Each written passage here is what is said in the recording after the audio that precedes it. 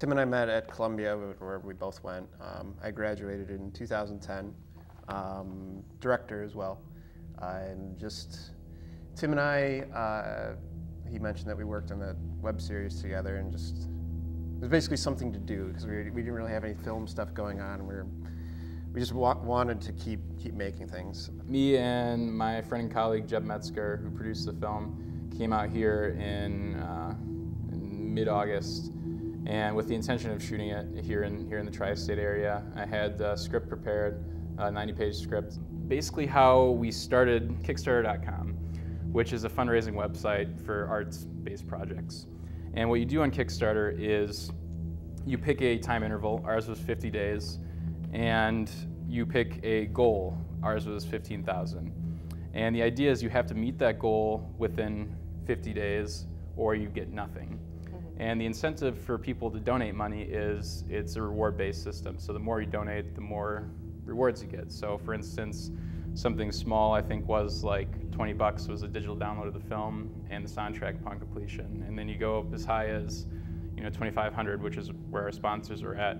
Um, and that's you know logo at the front of the film, you know, executive producer credit. Uh, the list goes on and on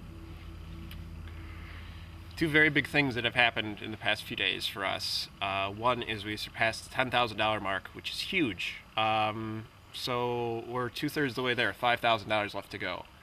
Um, so that's very big. So, so, big, big thank you to everyone. Um, it's incredible how far we've come. So also the ver- another very big thing is we uh, met with um, Joe Scherrman, who has his own production company, Dreamcatcher Productions, and he's going to be an executive producer on the project, and we're going to be working in association with Dreamcatcher Productions, um, most well known for uh, the award-winning documentary Ghost Players. So that's very cool for us. And I can't, I really honestly cannot tell you like how you know gracious I am. Like this is an arts project. This isn't like a charity or anything like that. And and people have been extremely generous. And for that, thank you. Still, all this all this funding, I can't stress it enough. All the the donations pledged mean nothing in the context if we don't reach our goal.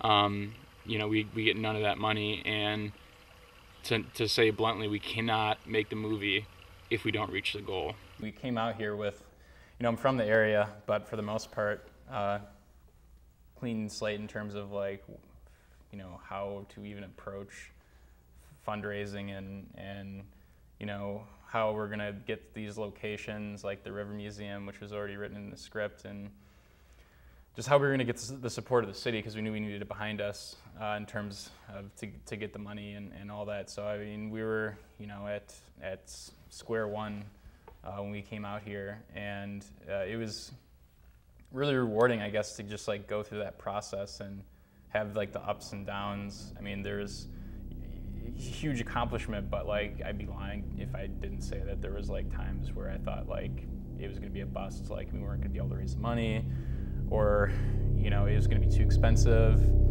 Uh, you know we weren't going to get the actors we needed. Just like a, a number of, of things.